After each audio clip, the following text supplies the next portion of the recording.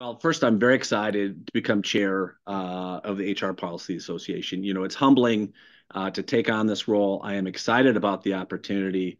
I certainly feel like it's a great time uh, to be a human resources professional and to be a chief human resources officer.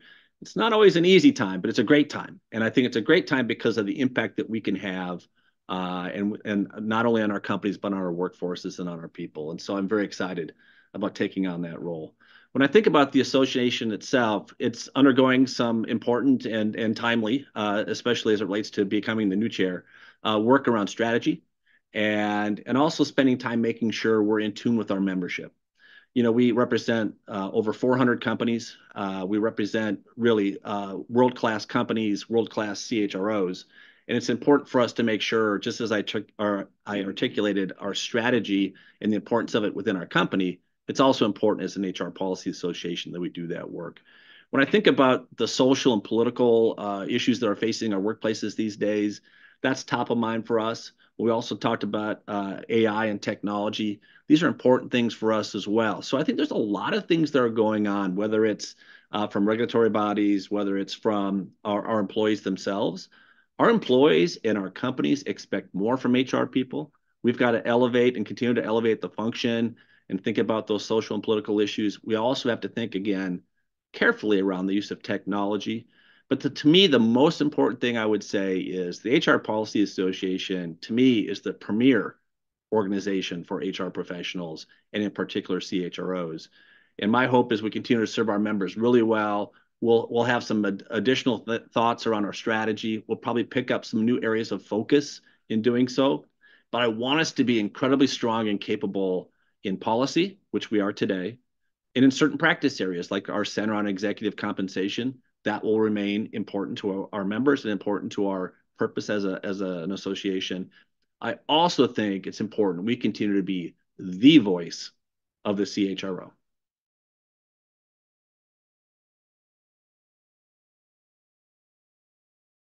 As I come into this role, one of my first priorities is to spend a lot of time listening to our membership and the CHROs, and I've done that since it's been announced until the effective date now here shortly. Uh, I've spent a lot of time listening, and you always gather insights. And again, what I probably will spend more time on is accentuating all of our strengths and looking for opportunities at the same time. And that's where that strategy work that we're going through right now, I'm sure will give us a chance to prioritize what those opportunities are. It's a little early to say what they are, but I'll look forward to coming back and sharing them at a right time.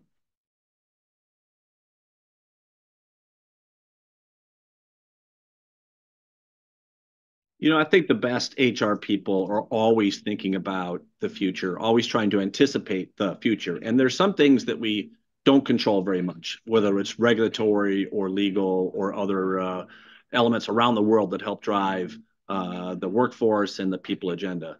But there are some things that I can think about now typically come to mind. One is this nature, if you want to call it the future of the workforce, this idea of how work gets done, and let's be honest, where it gets done. I think there's a lot of things that are going on. There's there's uh, some changes that happened via COVID. Uh, we have different work models. So I think the future of work needs to be top of mind as you're anticipating the future for HR professionals.